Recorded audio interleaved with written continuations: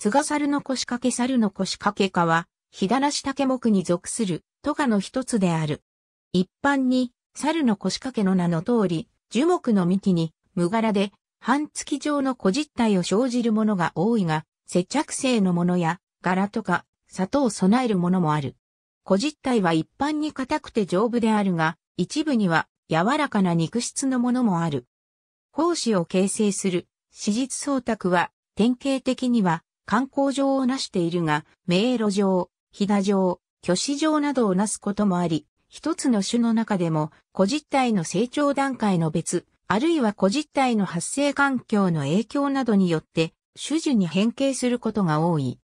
猿の腰掛けという和名を持つ種は存在しないため、仮名を猿の腰掛けかとするのは暫定的な処置である。タイプ種として、網平竹を選択する説と玉チョレイ竹を選択する説とがあり、前者の説を取るなら、網平竹か、後者の説に準じるのであれば、玉チョレイ竹かの和名を採用するのが妥当であるが、まだ国際藻類、菌類、植物命名規約上の決着を見ていない。この観点から多項金貨の加盟を当てることもある。万年竹や小吹き猿の腰掛けなども、胞子を観光に形成する点から、従来は猿の腰掛け科に含まれていたが、現在では、ひだなし竹目万年竹科に移されている。宮間トンビマイ竹も、木材普及金であり、史実総卓は観光上を呈するものではあるが、現在では、紅竹木へと所属が変更されている。さらに人形竹青老寺などは、生態的な性質などを理由に、人形竹もどき化に移され、これもまた、紅竹目に置く意見が強い。さらにマスタケその他は、生活感や小実体の組織構造などにより、他の多くの猿の腰掛け類とは、類縁関係をことにするものと考えられ、独立した相川竹科を設ける説がある。加えて、分子系統学的解析の結果を踏まえ、近年では分類体系が縦横に改変されている。大部分は木材を分解して栄養源とする白色普及菌や褐色普及菌で、通常は外性菌根は形成しない。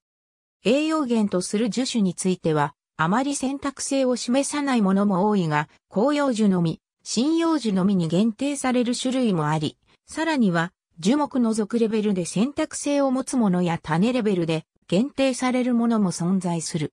舞茸トンビ舞茸など、一部には食用として珍重されるものもあるが、通常はキノコ狩りの対象にされないことが多い。万年竹や小吹き猿の腰掛けは漢方薬や民間薬として用いられる。河原竹から得られる多糖類も生顔剤としての応用がなされたことがある。相川竹などが樹木の空洞、裂け目などに形成した菌糸の塊は布状の手触りがあり、古くはこれを加工して、こと、日本刀などを収納する袋を作ったという記録がある。また、小吹き猿の腰掛けを用い、タバコ入れなどの工芸品に加工することもあった。西洋では釣り金竹や木こぶ竹の小実体内部の肉をよく叩いて柔らかくし、そのまま外科用の綿の代用にしたり、小石の水溶液を染み込ませてから乾燥し、加工として使用したという。また、干畑の外皮を剥ぎ取り、緻密な角質の内部組織を皮との代用とし、カミソリなどを研磨するのに用いたという記録がある。猿の腰掛け科に所属する菌に限ったことではないが、木材普及金としての被害は決して小さくない。造林、園芸分野での樹木の被害は従来からよく知られているところである。また、寺院や神社などにおける古木、名木の東福にもしばしば猿の腰掛け科の菌が関与している。一方で、木造家屋や木製の階段、柵、標識、遊具などを害するものも数多い。また、椎茸などの食用キノコ類の栽培に用いられる方だ。木を分解、普及させ、間接的に食用キノコの生産に影響を与える雑菌としても、猿の腰掛け科に属する多くの菌が関与している。分類に際しては、個実体の外形、胞子その他の形態、個実体の組織構造、普及型などが重視される。以下、主要な都がを挙げるが、これらの中には互いに統合されたもの、あるいは別家に移されたものも含まれている。ありがとうございます。